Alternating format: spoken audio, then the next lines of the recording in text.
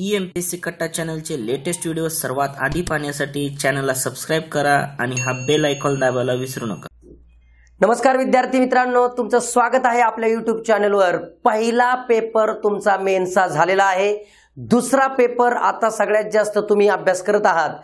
तर नुकत काही दिवसातच तुमचा दुसरा पेपर होणार आहे. पण सध्या सगळ्या विद्यार्थ्यांमध्ये एकच गोंधळ दिसतोय की सर मी नक्की टॉपिक करू काय? कारण माझ्याकडे एक चार पाच दिवस राहिले किंवा आठ दहा दिवस राहिले. पी एस आय मेन्स करत असाल तर चार पाच दिवस राहिले. किंवा एस टी आय मेन्स करत असाल तर तुमच्याकडे एक बारा तेरा दिवस राहिलेत. आणि एस वाल्यांकडे दुसरे अजून एक्स्ट्रा पण लक्षात ठेवा याच्यामध्ये करायचं काय? कोणते टॉपिक फोकस करू सर कारण आता प्रीचा पॅटर्न आणि मेन्सचा पॅटर्न प्रश्न विचारण्याची पद्धत वेगवेगळी आहे. हे पहिलं समजून घ्या. प्रीला आपल्याला पंधरापैकी बारा पडले तेरा पडले चौदा पडले. उगीच घापील न राहता उगीच जाऊन डायरेक्ट पेपरला जाऊ नका. तिथं तुमची दांडीगुल होऊ शकते. त्यामुळं ह्या काळामध्ये काय केलं पाहिजे?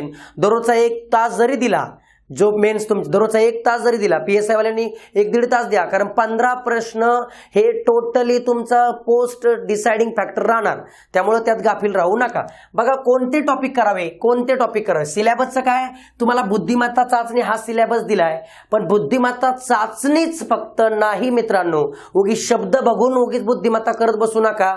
अंकगणिताचे सुद्धा प्रश्न येत आहेत तुमच्या मेन्सला. त्यामुळे उगीच फक्त बुद्धिमत्ता आहे फक्त बुद्धिमत्ता आहे म्हणून चालत नाही. मागचे पेपर बघावे लागतात अनालिसिस करावं लागतं त्याच्यावर तोच सगळा अनालिसिस करून तुमच्यापर्यंत पोहोचवते बघा बुद्धिमत्ता चाचणी. मग सर कोणते टॉपिक करू? जास्त प्रॅक्टिस नाही करायची. थोडक्यात तुम्हाला आयडिया आयडिया घ्यायची. हां पेपरला प्रश्न मागच्या मेन्सला काय होते? कोणत्या टॉपिकवरती काय होते? कोणत्या लेवलचे होते हे बघायचे मग टॉपिक कोणकोणते केले पाहिजे बुद्धिमत्ता चाचणी या सब्जेक्ट म्हणजे बुद्धिमत्तावरती तुम्हाला. तर कोडिंग डिकोडिंगमध्ये कोणते टॉपिक करावेत?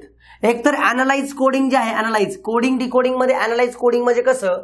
समजा असं वन टू थ्री म्हणजे ऑल द बेस्ट हा जो शब्द आहे ऑल द बेस्ट अशा प्रकारचं कोडिंग जे आहे ना त्या टाईपचे जे क्वेश्चन असतात ते अनालाइज कोडिंगमध्ये असतात. ते कोडिंगचा पाठ करायचा आहे तुम्हाला लक्षात ठेवा. कंपॅरिझन कोडिंग हा सगळ्यात फेवरेट पॉइंट आहे मेन्स एक्झाम रिलेटेड कारण हा याच्यापेक्षा उंच आहे लहान आहे ठेंगणा आहे मोठा आहे. हे जे प्रकार जो आहे ना किंवा गुणांची प्राप्ती याला जास्त पडले त्याला कमी गुण पडले त्याच्यापेक्षा कमी ह्याच्यापेक्षा जास्त. हे जे आहे कंपॅरिझन लक्षात तुलना तुलना जिथे येतो हा कोडिंगचा प्रकार येतो. जंबल कोडिंगचा एक तुम्हाला येणारे येण्याची शक्यता थोडी कमी आहे पण करून ठेवा. काय सांगावं? मागच्या मेन्सला विचारलेलं नाही. ह्या मेन्सला येईल. पण जंबल कोडिंग म्हणजे स्तंभ एक मध्ये काहीतरी तुम्हाला एक सेट ऑफ वर्ड किंवा काहीतरी दिलं जातं. स्तंभ दोन मध्ये तुम्हाला दुसरं दिलं जातं. मग यांची कोडिंग करून आपल्याला शोधावं लागतं. आता हा जो पार्ट आहे तुमचा मेन्सचा फेवरेट पॉईंट झालेला आहे लक्षात ठेवा. मेन्सचा alpha numeric coding alpha numeric coding काय आहे? तर तुम्हाला अशी एक सिरीज दिली जाते series dollar star five four three at the rate असं असं तुम्हाला सिरीज दिली जाते पूर्ण.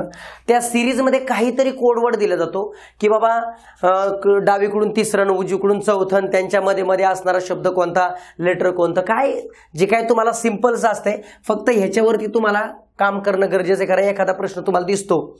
ठीक आहे? हे तर कंपल्सरीच क्वेश्चन घ्यावेच लागतात त्याशिवाय होऊ शकत नाही. दिशा ज्ञान चाचणी म्हणा किंवा बैठक व्यवस्था म्हणा सिटिंग अरेंजमेंट याच्यावरती त्यांना प्रश्न घ्यावाच लागतो. जे पंधरा प्रश्न आहेत त्यातले प्रश्न तुम्हाला दिसणारच आहे.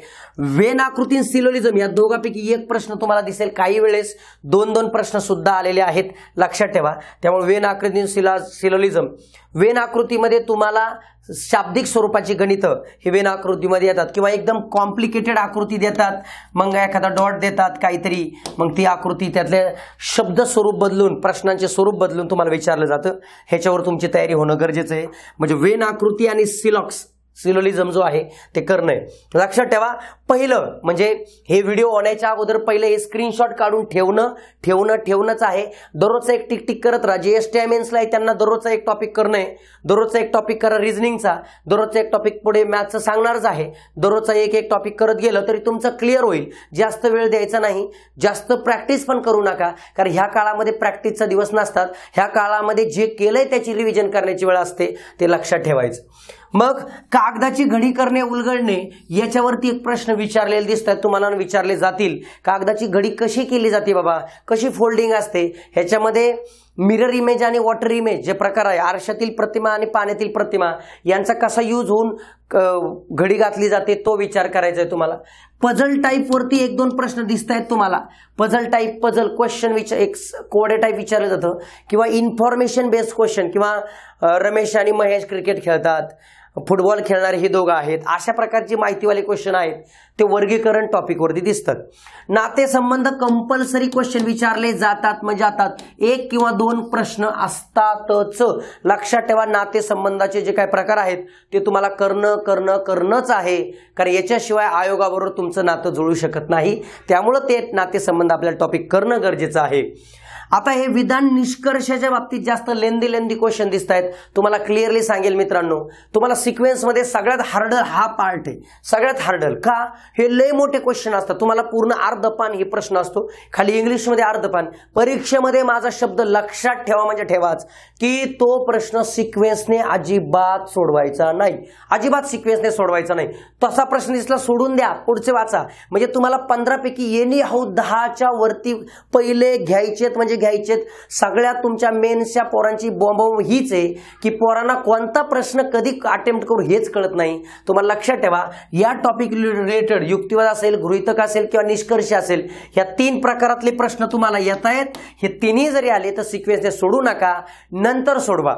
म्हणजे तुमचे पहिले पहिले माझं आपलं तुमचं माझं एकच तत्व असावं. पंधरापैकी पहिले दहा मिळवले बाबा. आता पुढचे मिळवायचा प्रयत्न करतो. ते नंतरचं हे असणार. कारण हे तुम्हाला इतके गुंतवणार आहेत. कारण त्याच्यामध्ये आकलन ही खूप महत्त्वाची महत्वाची गोष्ट आहे. ते कळलं पाहिजे. त्यांना काय म्हणायचंय? मग तुम्हाला वापर करता येतो. मग ते जर सोपे सोपे प्रश्न जर राहिले तर तुमचा गोंधळ होतो. मी असे विद्यार्थी पाहतो की सर रिझल्ट आला असता पण गणितामुळे गेला. असं रिस्क घेऊन चालत नसते बाबांनो. कारण प्रत्येक सब्जेक्ट आज इतका आय एम पी झालाय. गणितात जर मार्क नाही आले ना बाबांनो तुमचा रिझल्ट येत नाही. त्यामुळे उगीच गाफील राहू नका. जे सांगतोय ते करा म्हणजे करा. आकृती मालिकेवरती प्रश्न येतात. की पुढची आकृती काय येईल किंवा त्याच्यानंतर मिसिंग आकृती काय आहे तशा प्रकारे प्रश्न दिसतात. पहिले जे मी रिझनिंगचे टॉपिक सांगितलेत एवढे पहिले करायचे म्हणजे करायचेच. आणि एका दिवशी सगळं खात बसू नका पचणार नाही. दररोज एक एक एक एक एक एक पाड करत चला. अशी ही पहिली स्क्रीनशॉट काढून त्याची प्रिंट काढली तर बेटर प्रिंट काढून आपल्या डेस्कवरती ठेवा. केलं. केलं केलं. किंवा जर ते नसेल तर डायरेक्ट एका पानावर लिहून काढा आज हा केला उद्या तो केला. म्हणजे तुम्ही एवढ्या काळामध्ये ते करू शकता. J P S I men's आहेत त्यांनी दिवसाला दोन दोन टॉपिकचं पटपट बघून घ्या. बघ पटपट पटपट काम करून घ्या. ठीक आहे? एस ओ मेन्सवाल्यांना तर वेळच आहे. त्यामुळे ते व्यवस्थित करू शकतील. हे झाला बुद्धिमत्ता चाचणीचा सिलेबस बुद्धिमत्ता चाचणी काय करावं? बऱ्याच जणांना वाटतं सर अंकगणित कुठं आमच्या सिलेबसमध्ये पण अंकगणिताला सुद्धा एवढे टॉपिक येत आहेत मित्रांनो. अंकगणिताला बेसिक क्वेश्चन जे आहे उजळणीवरती आधारित म्हणजे एक ते शंभर वरती जे काही प्रश्न विचारले जातात याच्यावरती पण प्रश्न विचारले गेलेले आहे. संख्याशास्त्र आणि विभाज्यतेच्या कसोट्या. याच्यावरती या दोघांपैकी एक प्रश्न विचारावाच लागतो त्यांना. त्यामुळे इथे सावध राहायचं. विभाज्यतेच्या कसोट्या करताना तीनची नऊची आणि अकराची या तीन कसोट्या तोंडपाठच करून ठेवा कन्सेप्ट समजून घ्यावा. त्यामुळे हे विभाज्यतेच्या कसोट्या संख्याशास्त्र उजळणी यांच्यापैकी तीनपैकी एक प्रश्न येणार येणार येणार. अपूर्णांकाच्या बाबतीत लक्षात ठेवा. लहान मोठेपणा ठरवा.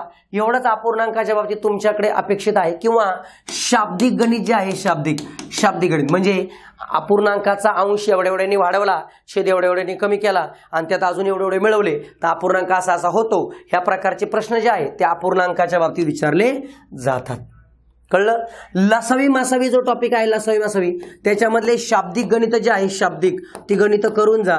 त्याच्यावरती प्रश्न विचारणार विचारला जाणार आहे तुम्हाला शाब्दिक गणित मागच्या काळामध्ये तुम्हाला काळ कामवरती प्रश्न विचारला गेलेला नाही पण प्रीचा ओघ पाहता तुम्हाला काळ कामवरती प्रश्न विचारला जाणार म्हणजे जाणार. त्यामुळे याच्यावरती डबल स्टार करून ठेवा. काळ काम ऑब्लिक नळ टाकी हे दोन्हींची कन्सेप्ट एकच आहे. जिथे माणसं कामं करतात तिथं नळ काम करत असतो लक्षात ठेवा. आणि इथं दिवस असतात तिथं तास असतात. म्हणजे काळ काम आणि नळ टाकी मागच्या परीक्षांना दिसत नाही पण येणाऱ्या काळात तुम्हाला मेन्सला तुमच्या दिसेल. कारण का? दोन हजार बावीसमध्ये दोन हजार एक बावीसमध्ये ज्या परीक्षा झाल्या त्याच्यामध्ये आयोगाने सगळ्यात जास्त फोकस केला मॅथ्समधला टॉपिक तर हा काळकाम. त्याच्यावरती प्रश्न येईल. बरोबर? समीकरणावरती प्रश्न. याचे प्रश्न तुम्हाला समीकरण जर क्लिअर येत असेल तर समीकरण सोडण्याच्या मागे लागा. पण ह्याचे प्रश्नांची उत्तरं हे पर्यायावरून काढण्याची जी काय कन्सेप्ट आहे ती तुम्हाला माहीत पाहिजे. म्हणजे पर्याय टाकला की उत्तर पटकन येतात हे लक्षात ठेवा. पर्याय पुट करताना एक तुम्हाला क्ल्यू देऊन जातो. पर्याय पुट करताना नेहमी खालून पर्याय पुट करायचे. म्हणजे चौथा नंतर तिसरा नंतर दुसरा पहिला. आयोगाची फसवण्याची टेक्निक असते ती आपल्याला कळली पाहिजे. तेव्हा पर्याय पुट करताना कोणता करावा ते ही गोष्ट लक्षात ठेवा. वैवारवरती प्रश्न येतोच घ्यावाच लागतो. परमिटेशन कॉम्बिनेशन दोन टॉपिकपैकी एक प्रयकावरती प्रश्न येतो. परमिटेशन कॉम्बिनेशन करून घ्या. त्याच्यानंतर आंतरवेळवेग बघा. आंतरवेळवेग याच्यावरती प्रश्न येतो. वृत्तालेख ज्याला आपण पायचार्ट म्हणतो. पायचार्ट याच्यावरती प्रश्न येतो. बघून घ्या हे. पायचार्टवरचे प्रश्न जे आहेत ते त्याच्यावरती कसा सोडवायचा? डिग्री जर असेल तर तीनशे साठ असतो. आणि पर्सेंटेज असेल तर शंभर असतो. हे कळून जातं. शेकडेवारीवरती एक प्रश्न येतो. शेकडेवारी टक्केवारीवरती जे काही प्रश्न आहे तो हो. भूमितीवरती त्यांना एक प्रश्न घ्यावा लागतो. क्षेत्रफळ करताना वर्तुळाचा विचार जास्त करा आणि हे कोणाचा विचार करताना त्रिकोणाचा विचार जास्त करा. याच्यावरती तुम्हाला वरच्यावर पाहून जाणं आहे. तेव्हा तुमचा हा पूर्ण पंधरापैकी पंधरा मार्काचा सिलेबस कव्हर झाला असं आपल्याला म्हणता येईल. उगीच बुद्धिमत्ता चाचणी केली पेपरला गेले ना अंकगणिताचे प्रश्न दिसले. तर मग अवघड होऊन जाईल मित्रांनो. आपल्याला रिस्क घ्यायची नाही. आपल्याला एनी हाऊ रिझल्ट मिळवायचाच आहे. त्याच्यासाठी ह्या टॉपिकवरती बघा. हां नाही मी म्हणणार नाही तुम्हाला की खूप प्रॅक्टिस करा. नको. हा काळामध्ये प्रॅक्टिस करण्याचा नसतो. बरेच माझे विद्यार्थी असे आहेत की ज्यांनी आता ह्या काळामध्ये केलं नाही सर. प्रीला पंधरापैकी चौदा होते तेरा होते. पण गाफील राहू नका बाबांनो. कारण आता तुम्हाला लेवल जर पाहिली मेनच्या प्रश्नांची थोडीशी ॲडव्हान्स लेवल असते ती आपल्याला टॅकल करणं गरजेचं असतं. लक्षात ठेवा. तुमच्यापैकी आता हे झालं सगळं तुमच्यापैकी ज्यांना आता हे सगळ्यांचा सार मी एका बॅचमध्ये काढलाय. खूप खूप म्हणजे याचं कारण मला वेळ नव्हता मित्रांनो पण तुमच्यासाठी बॅच लॉन्च केली मी. फक्त आणि फक्त मुख्य परीक्षा आणि ती पण फक्त कोणासाठी? P S I S T I and ASO हे जे विद्यार्थी अभ्यास करतात त्यांनीच जॉईन करा मेन्सीत करणाऱ्यांनीच. ही मेन्ससाठीच बॅच आहे. ॲडव्हान्स लेवलचे क्वेश्चन घेऊन कसं टॅकल करायचं हे बॅचमध्ये सांगितलंय. याच्यामध्ये फक्त आणि फक्त पाचशे रुपये फी आहे. फक्त पाचशे रुपये. त्यामुळे खास तुमच्यासाठी रिस्क घेऊ नका. अटेम्प्ट करा. ज्यांना वाटतंय ज्यांना वाटतंय की मी मागे राहू शकतो बाबा नको माझी एवढी नको रिस्क घ्यायला त्यांनी शंभर टक्के जॉईन करा. ह्याच्यामध्ये तुम्हाला बॅच जॉईन करण्यासाठी लक्षात ठेवा. आपल्या स्पर्धाग्राम स्पर्धाग्राम ॲपवरती बॅच जॉईन करू शकता. किंवा ह्या नंबरवरती शहाण्णव झिरो चार झिरो दोन झिरो दोन सत्याहत्तर लक्षात ठेवा पहिला इथे कॉल करायचा. इथेच कॉल करायचा. ऑनलाईनचं इथं माहिती विचारा. जर कॉल रिसिव्ह झाला नाही तर मला कॉल बॅचच्या बद्दल बोला. काहीच अडचण नाही. माझा नंबर अख्ख्या महाराष्ट्राला माहिती आहे. त्र्याऐंशी झिरो आठ एकशे दहा एकशे दहा. ठीक आहे? पण मला रिझल्टचा मेसेज पाहिजे. तुम सर जिंकलो आपण. जसं प्रीचं तुमचे मेसेज आले होते सर जिंकलो मस्त मॅथ्समध्ये मार्क मिळाले तसंच मला पाहिजे मित्रांनो. त्यामुळं तुम्ही ह्या टॉपिकची तयारी करा. ह्या टॉपिकची फक्त ही फक्त दहा व्हिडिओची बॅच लक्षात दहा व्हिडिओ दहा व्हिडिओजमध्ये पूर्ण अंकगणित आणि पूर्ण बुद्धिमत्ता जेवढं तुम्हाला मेन्सला गरजेचं आहे सगळं क्लिअर केलेलं आहे. बरोबर? येणाऱ्या परीक्षेसाठी माझ्या सर्व अधिकारी मित्रांना खूप खूप शुभेच्छा. जिंकूनच या. धन्यवाद.